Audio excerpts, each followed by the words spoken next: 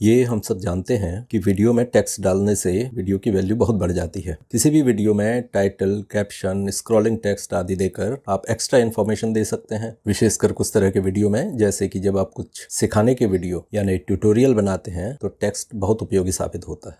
और भी कई लाभ हैं वीडियो में टेक्स्ट के। इस छोटे से वीडियो में मैं ऐसे लोगों की समस्या हल करने की कोशिश कर रहा हूँ जो YouTube आदि के लिए VSDC फ्री वीडियो एडिटर से वीडियो एडिटिंग करना चाहते हैं। लेकिन वो VSDC को इसलिए इस्तेमाल नहीं कर पा रहे हैं क्योंकि उनके कंप्यूटर में VSDC में हिंदी फ़ॉन्ट ठीक से काम नहीं करते या उन्हें हिंदी में काम करने में कोई कठिनाई आती है। एक बार तो और VSDC में टेक्स्ट के टूल और जो फ्री वीडियो एडिटर हैं, उनसे अच्छे हैं और इसमें टेक्स्ट का कंट्रोल बहुत ज़्यादा है। बस थोड़ा प्रैक्टिस की ज़रूरत होती है। पहले वीएसडीसी में टेक्स्ट मेनू और इसके टूल कैसे काम करते हैं, संक्षेप में इस पर चर्चा कर लेते हैं।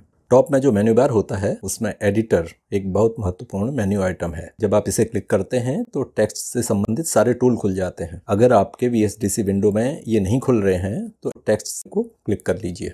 इसमें सबसे पहले टेक्स्ट के रंग, फिर उसके बैकग्राउंड के रंग, फिर उसकी कंटूर यानी आउटलाइन के टूल हैं। इसके बाद फॉन्ट सेलेक्ट करने, उसका साइज़ और फॉर्मेटिंग के बहुत सारे टूल हैं। इसके बाद है फॉक्स बोल्ड और फॉक्स इटैलिक्स इससे फ़ॉन्ट को और भी बड़ा या टेढ़ा कर सकते हैं। इसके बाद के जो टूल हैं, उनसे आप कुछ और फॉर्मेटिंग कर सकते हैं। अक्षरों और लाइनों के बीच की दूरी को घटा बढ़ा सकते हैं।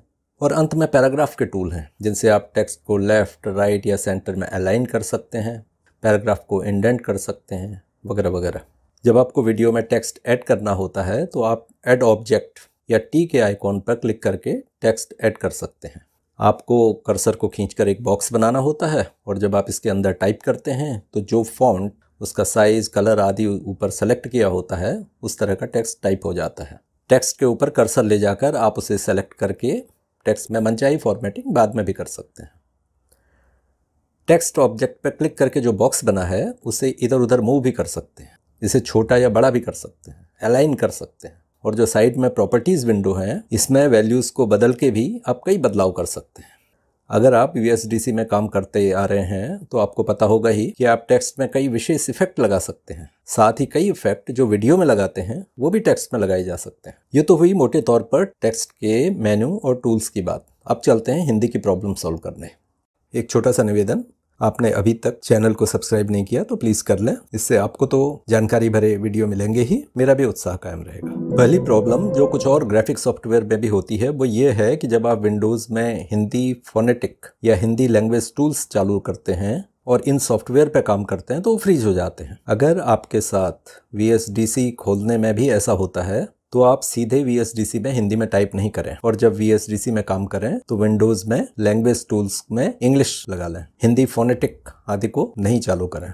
मैंने VSDC की टीम को इसके बारे में बताया भी है। कई बार उनसे ईमेल में चर्चा हुई है, लेकिन उनके पास इसका सॉल्यूशन नहीं है। उन्होंने ये भी बताया है कि ये इश्यू जापानीज और चाइनीज़ के साथ भी होता है और कई सारे वीडियो एडिटर और ग्राफिक सॉफ्टवेयर में इस तरह की परेशानी आती है। दूसरा, किसी भी वीडियो एडिटर में हिंदी में टाइप करना उतना सरल नहीं है जितना कि वर्ड प्रोसेसर जैसे कि एम एस वर्ड या गूगल डॉक या फिर Google input tools Google translate या इंटरनेट में ब्राउज़र में हिंदी एक्सटेंशन लगा के इनमें टाइप करना। हिंदी में टाइप करने में आने वाली कठिनाई का सॉल्यूशन तो ये है कि इनमें से किसी भी सॉफ्टवेयर में हिंदी में टाइप करें और कॉपी करके वीएसडीसी के टेक्स्ट बॉक्स में पेस्ट कर लें। तीसरा, अगर पेस्ट किया हुआ टेक्स्ट गड़बड़ दिख रहा है तो इसका मतलब आपने कोई इंग्लिश का फ़ॉन्ट सेलेक्ट किया है। इसे बदलकर जो भी देवनागरी का फ़ॉन्ट है, उसको लगा लें, ऐसे।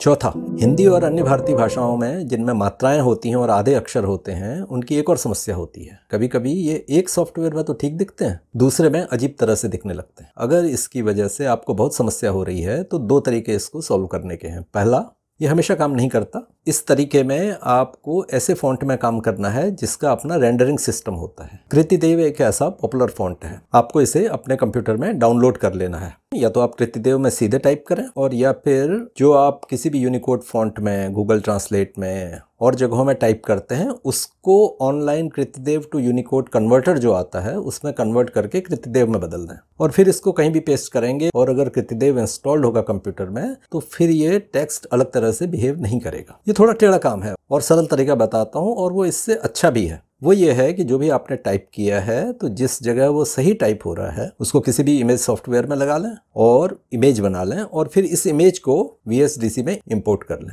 हाँ इस इमेज में आप जो वीएसडीसी के टेक्स्ट इफेक्ट्स हैं, वो नहीं लगा पाएँगे, लेकिन इसमें वीडियो और इमेज के जो भी इफेक्ट्स हैं, वो सब लग जाएँगे। मैं अभी का उदाहरण आपको बताता हूँ। मैं टेक्स्ट लिखना चाह रहा हूँ हिंदी में। देखिए वो जो बन रहा है, वो इस तरह का बन जा रहा है।